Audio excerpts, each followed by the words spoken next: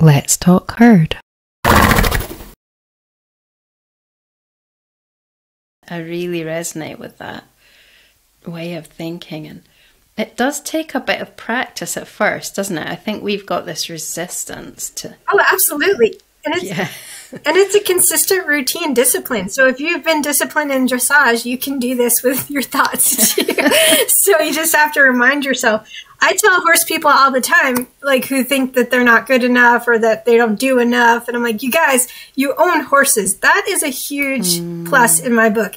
That means you are disciplined. You show up, you take care of them. Yeah. So why don't you take care of yourself as well as you take care of your horse? Yeah. You can do it. It's just a matter of shifting your perspective, you know? And that includes, you know, focusing on what your body needs, what your thoughts need, all that. Yeah. Do you think there's an extra diamond? Like there's a something about maybe it's the ego, but because sometimes you talk to people about this. I mean, I talk to people about this sometimes, and I'm, I, you know, it's like I want to encourage that. Like, wow, you know that you can really like create your own world, and it's amazing. And but you know, uh, but they don't necessarily always want to hear that, and it's it's almost like a responsibility then. It's scary. Uh, yeah. It's scary to own your own power. And that's why, you know, so many societies have religions that tell you you're not allowed to have power. so it's revolutionary to say, I have my own voice and I'm going to trust myself and no one else. And it scares people. Um, so if you can get into that space and just go, okay, this is for the highest good for myself and all the energy around me, you know focus on on doing all the right things that feel good to you then i think that's the important thing. Yeah, yeah, yeah, and yeah being able to i call it grab life by the unicorn horn and just own your power and do it. It, it, it makes light of it but it's also so true. So um, i'm going to share with you something that i wrote in my book as well but it was very powerful. At 16 years old, I had a dream that I was in a physical education class. We call it gym class here in the US. And there was this one long rope, and you're supposed to climb it. And it's like torture for people who are not athletic. And in my dream, I'm like struggling. I'm just on the end. And it's, I'm shaking and I feel horrible and I don't want to be doing this. And it's all the emotions, like the bad ones, right? And then all of a sudden, this entity comes up in front of me and, and shows me all these beautiful golden orbs that are floating all around me. And they start to spin. And the energy says, you need to choose one and it'll help you. And I'm actually, I'm looking at it and they're spinning kind of fast. And I'm like, and it was actually kind of distracting and annoying me even more. And I'm like, I don't know. And then all of a sudden I realized there was one inside my lower belly. wow. And I said, I choose the one inside of me.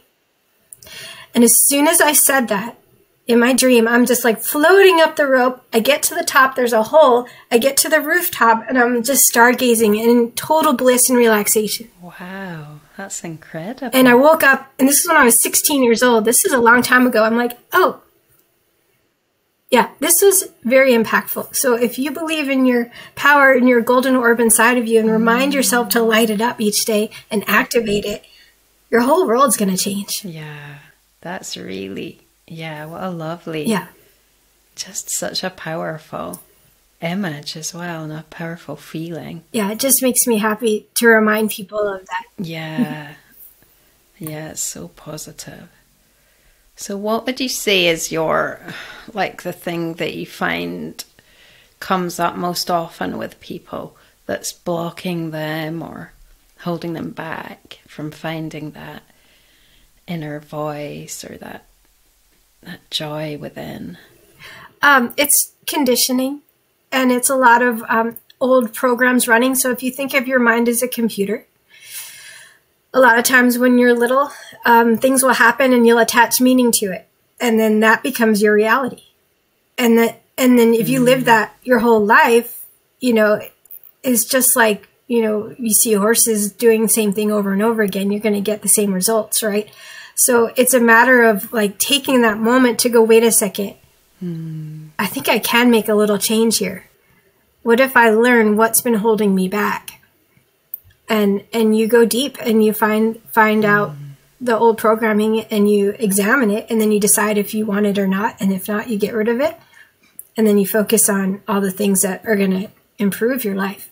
But it's a matter of having that realization of going you know what? I don't like the way my life is i don't like the way this trajectory is going. I need to make a change. So usually it happens with a big life moment. Mm-hmm. you know for me like i said i had five surgeries and they were all very impactful and they've shifted my perspective in major ways.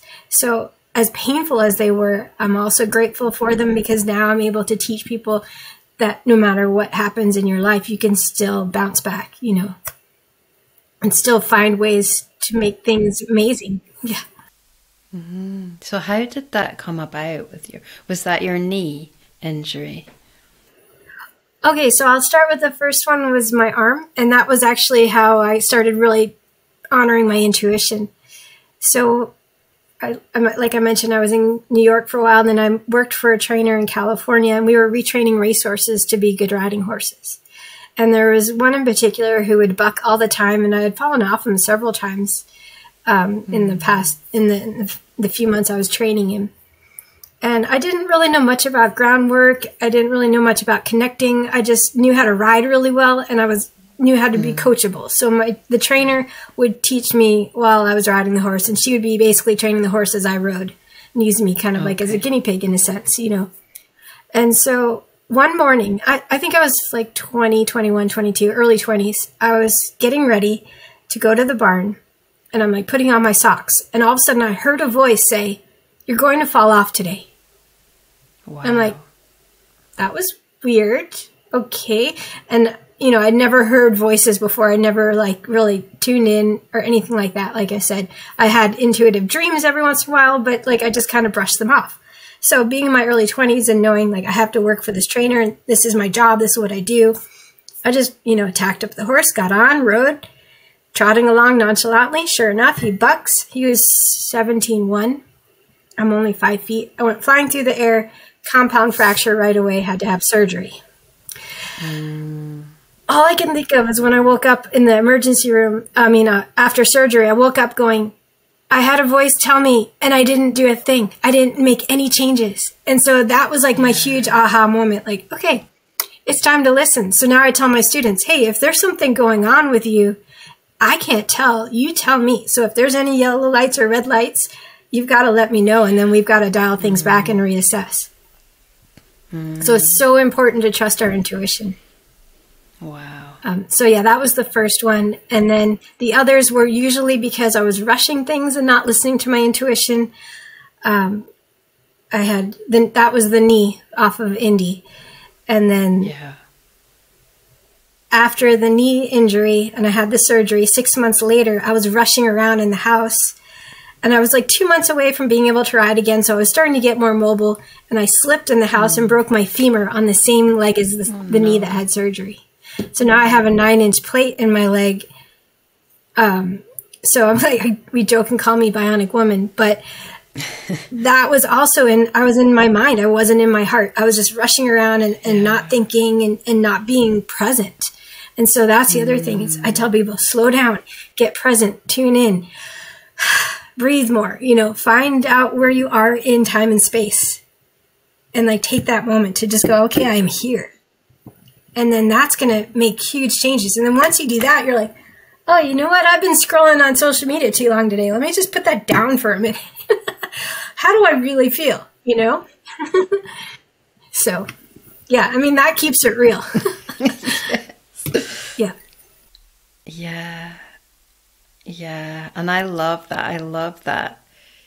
I think because of mm. doing the craniosacral, that kind of trains you or yeah, it's like a parameter just to kind of give you the discipline yes. to just sit and be with your body and with your and with the flow like to know that everything's flowing and moving and and then you can then you can connect that with you know other animals and the horses and and it is really that's for me now that's kind of become re- the real thing like the real experience of life.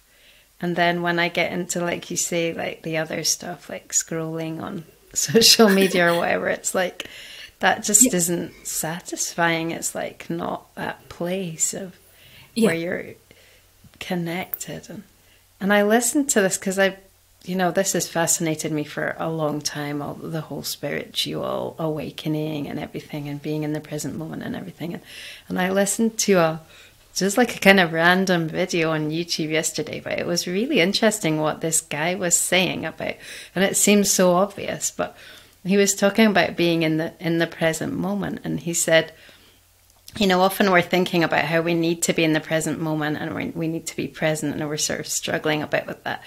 But what he said, which was so it was really helpful was that we're always in the present moment. You know, even if we're thinking about the past or thinking about the future, we're we're still in the present moment. We're just thinking about the past or the future. So that I don't know, that just like helps because it oh, yes. just makes you realize that you it is always now. It's always now.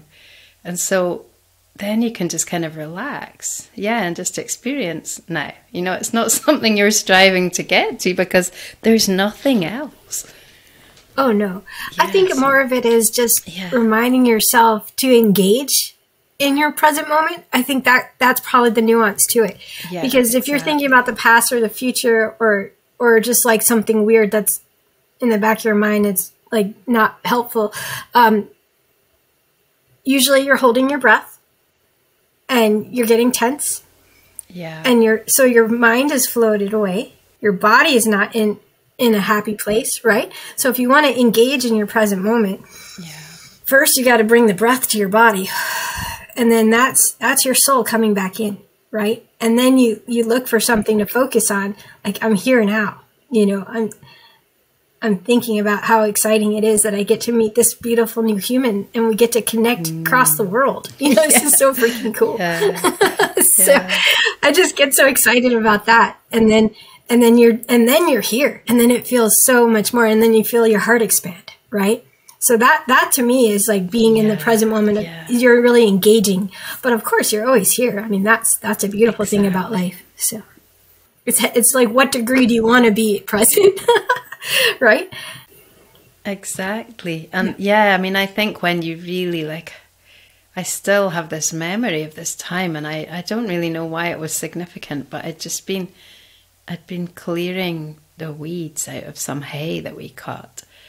And I, I was just walking up the field afterwards, and I just, oh my God, it was like the most, probably the most present moment.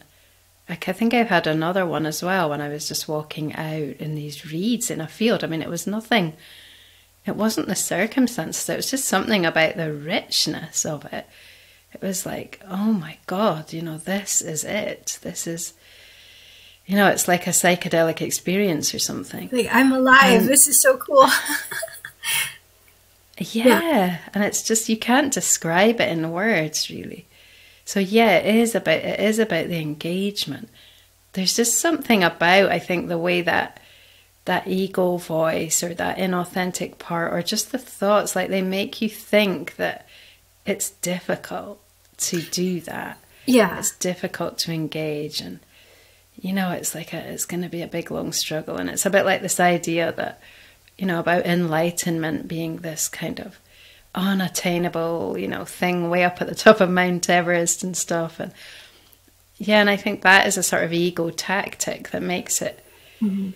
It just creates something that, like a smokescreen, that's not really there. So it just, yeah, it just helps to kind of. I've always felt like it helps to to feel something. You know, if you want to engage, you you can like tune into your body or to tune into something or your breath or whatever, rather than just trying to clear your mind. Is that would you sort of agree with? Oh yes. Yeah, you can never really really clear your mind. You're always going to have thoughts, yeah. so you might as well um, start to get really picky about the thoughts you want to focus yeah. on. so, do you see it as because yeah. I've sort of discovered this sort of fairly, you know, in the last few years, like this distinction between thinking a thought, like the thought being from your mind, maybe, and receiving a thought where it's coming from like soul or the or the larger your vaster being or mm-hmm. or the universe or the or the horses or the animals or whatever but it's more like a receiving than a create like like not so much create i don't like to use the word creating in that context but like your mind making it up yeah. would you do you sort of see that distinction yeah i do and i make a per i'm like an on point purpose to connect to my inner guidance my soul my higher self my guides, however you want to call it, universe. And I actually have an inner guidance journal that I write in every morning. Wow. And I and I and I my intention is always what should I focus on today? And then I just start free writing and every day it's different. And I'm like, well, this is pretty wild. Whereas, you know, if I'm, you know, like if you're on the computer or doing work and then your mind starts coming up with all these things and I'm like, ah, that's not helping me. So I come back to my heart and I breathe there and then I ask, what do I really need to focus on? So it's like the mind energy and the heart energy is very different to connect to. And then when I'm with the horses, it's so much easier to be in the heart yeah. connection because they, they open that up. And I, I didn't even understand it when I first started teaching I had clients just start telling me their whole life story and they're opening up to me. And, you know, like I said, when I started teaching, I was in my early 20s and I'm like, this is weird. I should have like majored in psychology. Like I just didn't understand it. And now I get it. It's like the horses open up all your emotions and you're yeah. like, I'm here. And now I'm here to support yeah. people. Like it's totally normal. You know, I, everything's confidential. We're good. You know, um, but I want to come back for a second, if I could, about the and I and I I love this concept. I've been playing with it more. I I see us all as energy and light and strings of light connecting to the universal web. So we can we can like tap into mm. the answers that we need, the energy that we need, and connect to the energy we need. And you can see it like strings, like almost like on a cello, right? So when your horse comes in front of you, either energetically or physically, you can imagine you're you're creating music and you're harmonizing those strings mm. together. That's beautiful. So that that's just something I've been playing with more, and it and it feels more magical. And I literally feel like fairy dust is all around us, and that's the reality I create. And some people think it's crazy and laugh at it, but it's way more fun for me and my pony. So. Oh no, I love that. yeah. Yeah. So I just want to share that with you because uh, when you're talking about connecting, I'm like, might as well create a fun visual to latch onto as well.